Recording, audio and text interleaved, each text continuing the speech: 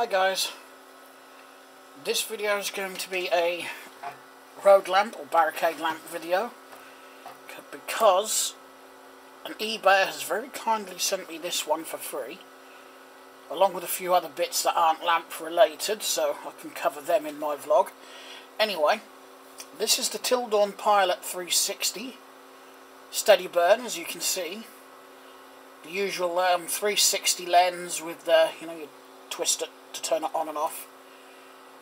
Uh, I do like the design of them lamps, but the only design flaw with these, and it goes for even, you know, the JSP mini lights and the micro lights and the other lights, it was too easy to steal the batteries from them.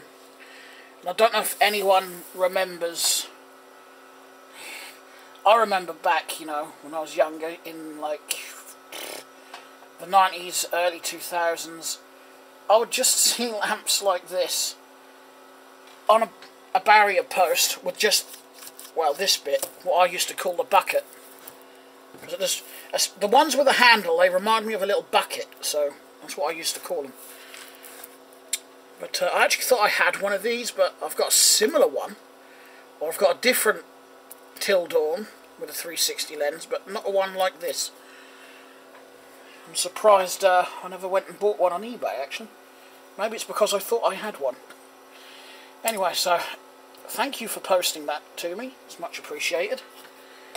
That will go on my uh, shelf with what few Tildawns I have. Um, the other road lamp thing I wanted to mention, because I've actually found out a bit more info, is this one. It's the um, railway lamp. It's got the red lens on that side.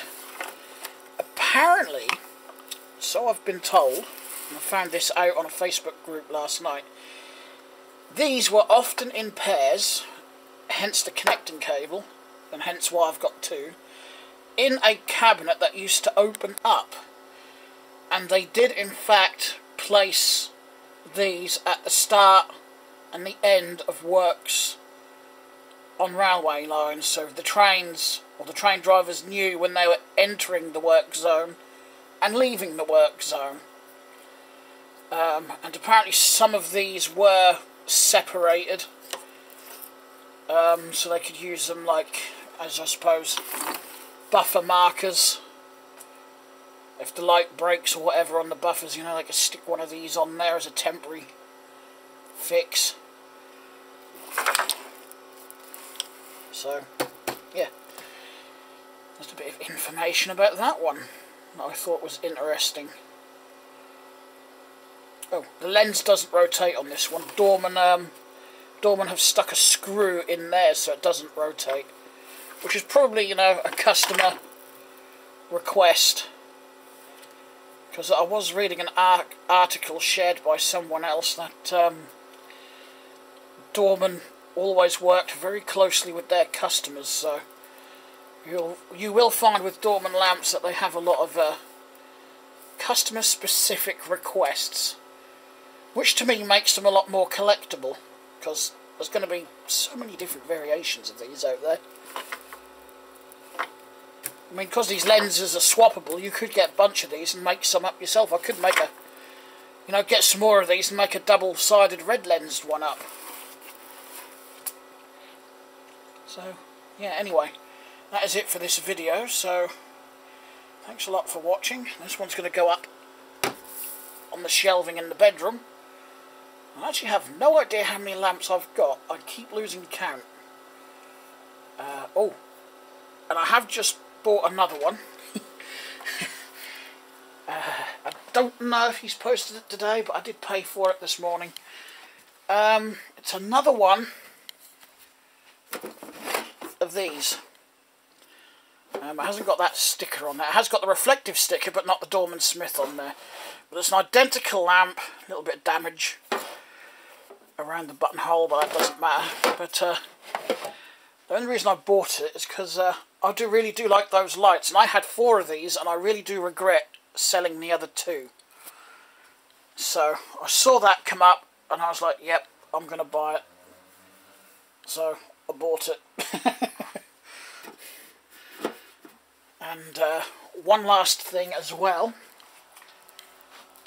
I've got a YouTuber that collects lights, or uh, blah, I'll start again, shall I?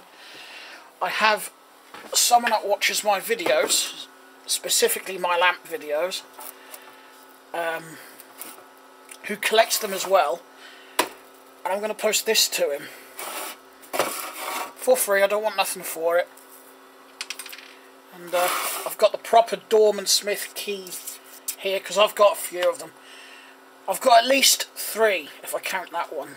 I've got two in my toolbox, and I believe I've got another one. Another one at least lurking around this flat somewhere. So I don't mind posting another one. It just makes life easier with this bolt and uh, turning it on and on. You haven't got to mess around trying to find something that's going to fit in the bloody hole. But there you go. That will be on its way to you probably after Christmas. Uh, as soon as the post office opens after Christmas, I'll get this posted.